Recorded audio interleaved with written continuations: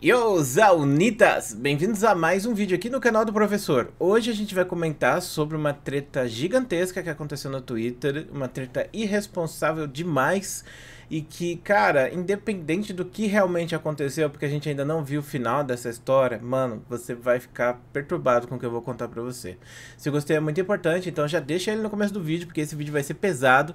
Não esquece de se inscrever no canal do professor.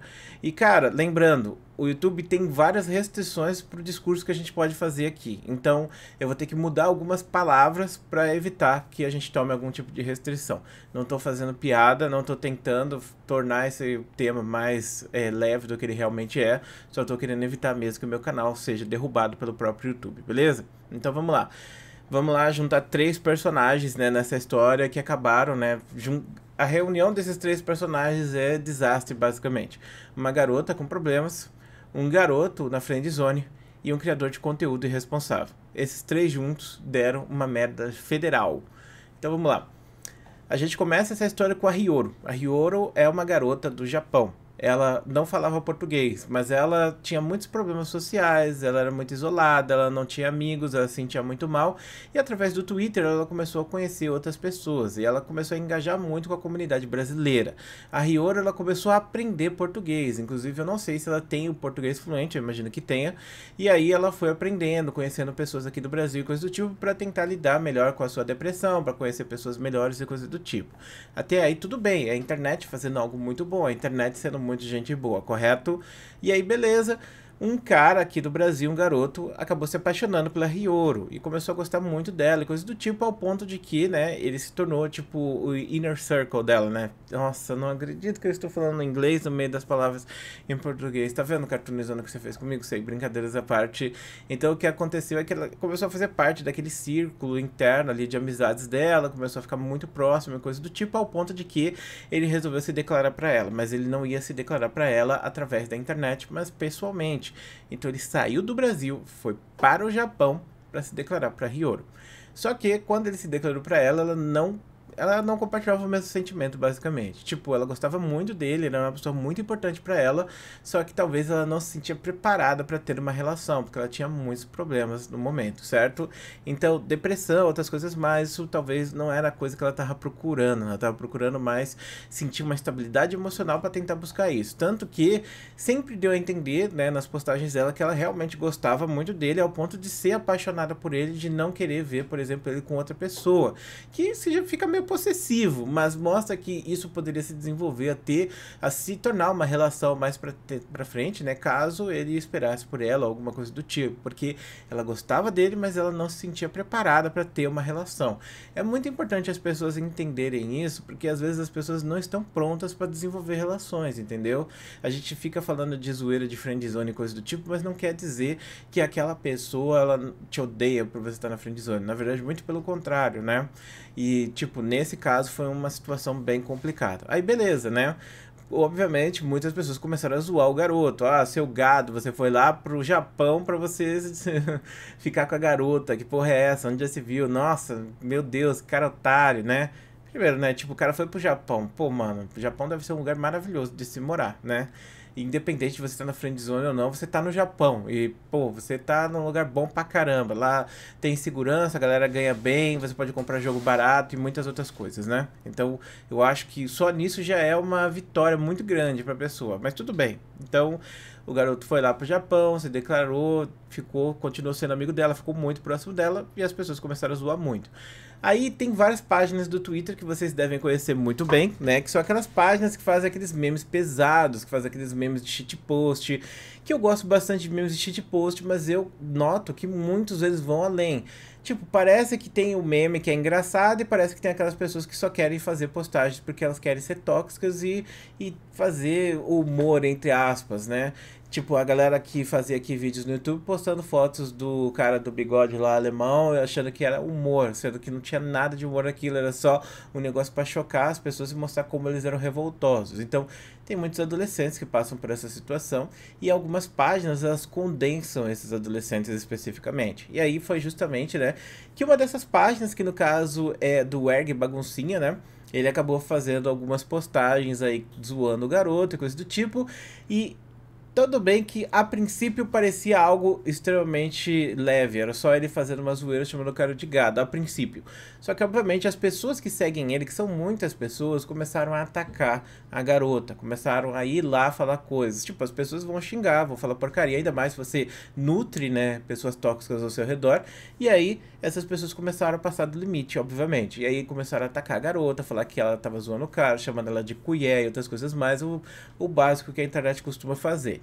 E como a garota já tinha problemas e outras coisas mais, ela acabou indo de arrasta para cima. Lembrando, né, que eu sei que essa palavra é zoada, mas eu acho que vocês vão entender o que é, visto que eu não posso falar o que é de verdade, porque senão o YouTube vai me dar uma restrição, né? Então, ela foi de arrasta para cima por causa de toda essa pressão, né? Das pessoas que ela gostava, que ela tava ali, e as pessoas fizeram ela se sentir culpada por o cara ter ido ver ela, fizeram ela se sentir culpada por ela estar tá na internet, e fizeram né, ela ser hateada justamente no ambiente que ela se sentia segura. Então, ela foi de arrasta para cima porque ela já tinha um monte de problema.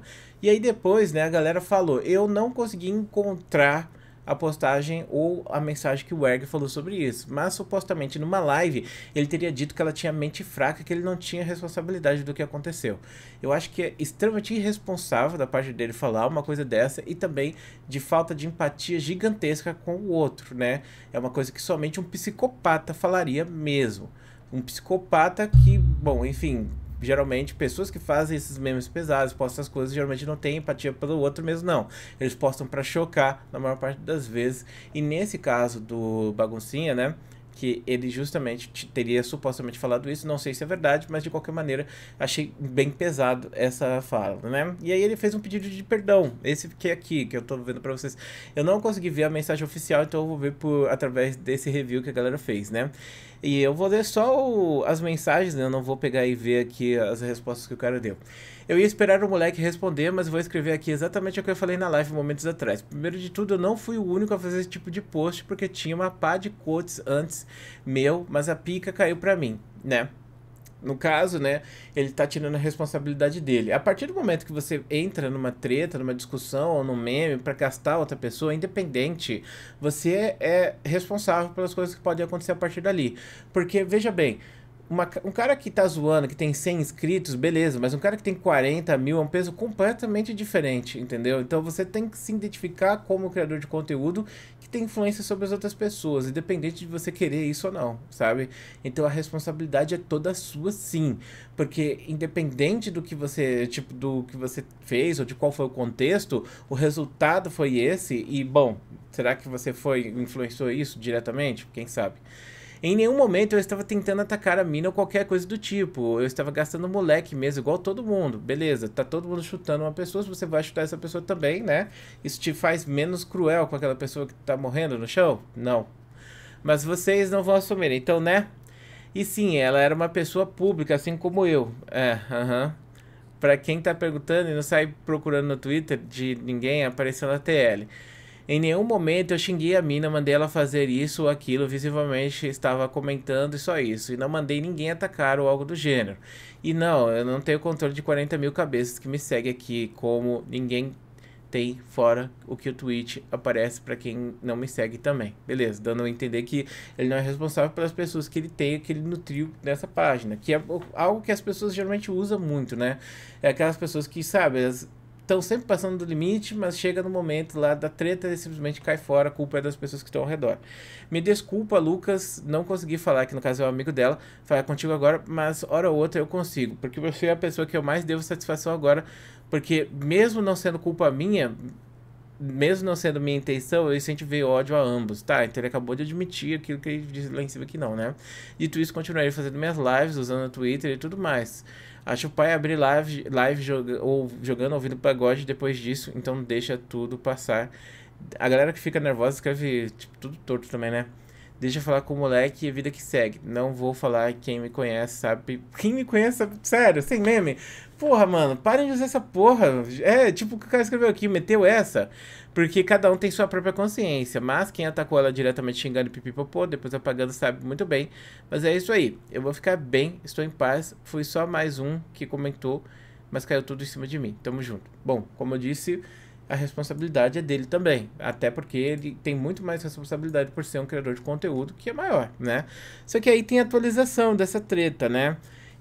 Alguém começou a fazer ali, sabe, um CSI. Sempre tem alguém que faz aquele CSI maroto para descobrir o que, que aconteceu. E supostamente essa pessoa estaria no Japão também. Então, a pessoa primeiramente foi pesquisar o que estava acontecendo, foi ver ali se tinha notícia de alguma pessoa que teria arrasta para cima nos últimos tempos ali na região onde supostamente a Ryoro moraria e coisa do tipo. E nada de chegar a informações, porque ele realmente se preocupou com a situação. Enquanto isso, tava todo mundo caindo em cima do Egg, falando que ele tinha que ir de arrasta para cima, que se encontrasse na rua ele ia encher ele de porrada, ia dar tiro nele, coisa do tipo, ameaçando todas as gerações da família dele, o que também é outro problema, porque veja bem, uma pessoa cometer um erro não faz com que você seja isento de cometer um erro em cima daquela pessoa, entendeu? Isso só mostra como você também é uma pessoa tóxica e ruim. Porque tem muita gente que é covarde e só vai atacar as pessoas que estão embaixo, ou as pessoas que supostamente estariam erradas, que no caso é esse ponto aqui do erg. Então, você pegar e ficar falando que o erg tem que arrastar para cima porque ele fez essa merda que ele fez já, faz com que você seja tão errado quanto ele. A diferença é que o Edgar tem 40 mil pessoas e você não. Mas você estaria na mesma posição que ele e você mereceria passar pela mesma situação que ele. Então, é uma grande hipocrisia você mandar esse tipo de mensagem. Mas eu entendo que você esteja puto e eu também fico com essa situação e a gente quer ver justiça. Como é o caso desse cara que foi lá e foi pesquisar e até mesmo encontrar, entrar em contato com a polícia do Japão.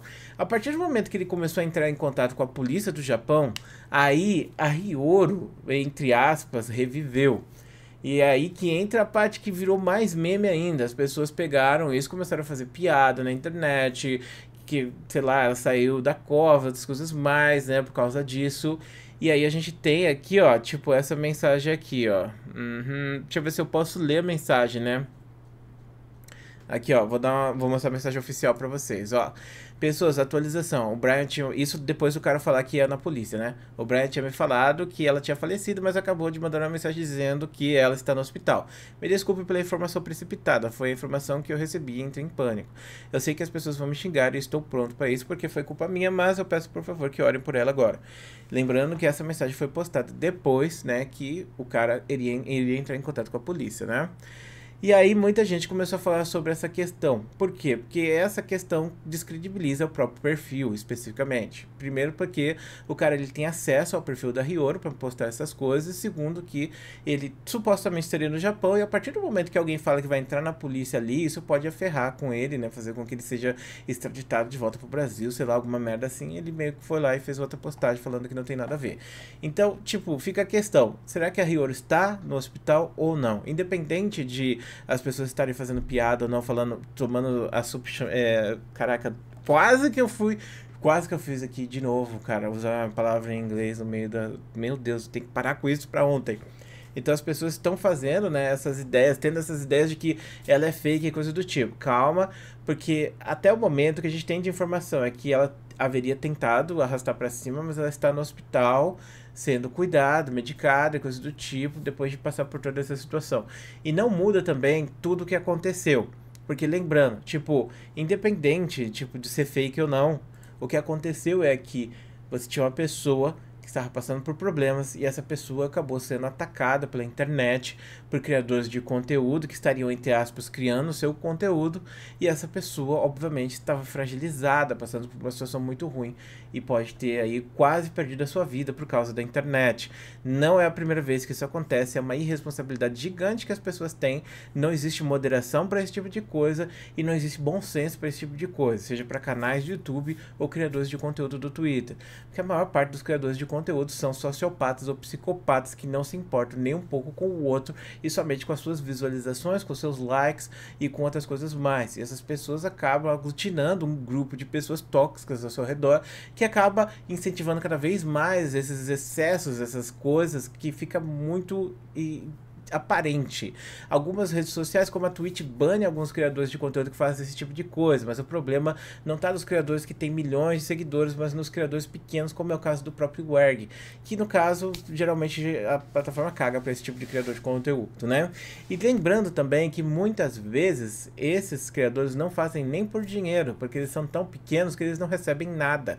E aí os caras acabam sendo tóxicos e fazendo coisas e afetando a vida de outras pessoas por zero reais, simplesmente para ganhar visualização e like. Então, independente de como se resolver esse caso da Rioro, eu acho que o que aconteceu mostra como tipo a internet foi tóxica nesse ponto, tanto com o Erg de ficar falando coisas para ele, quanto pelo próprio ponto da comunidade do Erg ter atacado outras pessoas. E talvez, inclusive, as próprias pessoas que sigam ele, que já têm esse teor de toxicidade, sejam as pessoas que estão atacando ele justo porque ele demonstrou fragilidade. Porque essas pessoas elas sempre vão no pé de quem tem fragilidades, né? Eles vão atacar quem está com algum problema, porque eles são como se fossem zumbis, entendeu? Eles veem ali o cara sangrando e eles querem devorar essa pessoa a todo custo. E tem que tomar muito cuidado para você não cultivar esse tipo de like, não cultivar esse tipo de visualização. Porque é como eu tava vendo no episódio dos Simpsons, onde o Homer ele cortava um pedaço do dedo fritava e comia. Então é a mesma coisa, você tá se autoconsumindo. Não existe uma pessoa na internet que tenha cultivado uma comunidade dessa que tenha tido bons resultados no final. Visto que no caso do Erg, ele é pequeno demais e já deu ruim para ele. Imagine só se ele fosse maior, ele teria conseguido sei lá, um cancelamento muito mais absurdo, ser destruído de uma maneira muito mais absurda. Então, é preciso ter muita responsabilidade na hora de você cultivar o seu público e não agir de forma tóxica, se blindando pela internet, né, pela anonimidade da internet e também pelo fato de você não ter controle das pessoas que você está chegando. Eu sou um exemplo de criador de conteúdo antigo aqui na internet que atinge milhões de pessoas, que inclusive já estou há nove anos fazendo meu canal, vai fazer dez anos agora em maio, e eu não, não cultivei uma comunidade tóxica, minha comunidade é super gente boa, minha comunidade é super solícita e eu tenho responsabilidade porque eu me preocupo muito com o que a minha comunidade pensa, faz, como que eles agem, coisas do tipo. Evito trazer temas pesados no meu canal principal e coisas do tipo, porque eu sei que isso vai virar contra mim lá na frente. E a minha comunidade nunca me decepcionou, mesmo estando dentro da comunidade League of Legends, que é uma das mais tóxicas do mundo. Então é muito importante ter um pouco de responsabilidade como criador de conteúdo, como pessoa, porque a gente não está lidando com um nome ali ou com um avatar, a gente está lidando com pessoas. E no final das contas, o garoto que foi pro Japão se deu bem no final, porque o Japão é muito melhor que o Brasil, pelo amor de Deus, né? Então, então, tipo, sei lá, é inveja que os caras têm pra ficar falando merda assim. E sobre o relacionamento da Rioro, as pessoas têm que pegar e respeitar mais os tempos que as pessoas têm para dar, mano. Tipo, a pessoa não quer ter um relacionamento agora porque ela tá fragilizada e tem aquela pessoa que é tipo um abutre que tá em cima o tempo todo e ainda se vitimiza dizendo que a culpa é da outra pessoa por não estar tá namorando ela, sabe? É um absurdo esse tipo de coisa. É nojento, na verdade, e é lamentável que muitas pessoas estejam é, com esse pensamento, né? Mas é aquilo, né? A internet é um lugar de pessoas problemáticas, infelizmente. Bom, tá aí o vídeo sobre essa treta resumida para vocês. Eu espero não ter faltado alguma coisa, ter coberto aqui bem para vocês de forma respeitosa. Muito obrigado você que assistiu esse vídeo até aqui. Um grande beijo, um grande abraço e em relação a ódio e outras coisas, sempre vou me posicionar contra isso, porque ódio é sempre errado, sabe? E que caso a Rioro seja uma pessoa real, que ela se melhore, que ela consiga voltar, que ela consiga melhorar da sua depressão, que ela receba apoio que ela precisa urgentemente. E caso ela seja um fake, que esse cara seja banido da internet, porque esse tipo de brincadeira não é legal de se fazer. Mas lembrando, né, que tipo existe uma timeline de eventos, né, aonde começa com essa garota postando e depois com o cara pegando as postagens dela pra zoar. Então, no caso, eu não consigo imaginar alguém mastermind o suficiente para pegar e pensar e fazer isso lá atrás, sabe? para lá na frente pegar e atacar um criador de conteúdo específico, como se fosse morder uma isca. Eu não consigo imaginar isso, mas óbvio que tem muitas pessoas falando sobre isso, né? Gerando essas teorias e gerando mais hate pra garota ainda, né? Nesse momento eu acho que a melhor coisa que poderia acontecer é ela deletar o Twitter. E é meio triste você pensar que essa seria a resposta mais segura para ela no momento. Muito obrigado por assistir esse vídeo, um grande beijo e a gente se vê depois.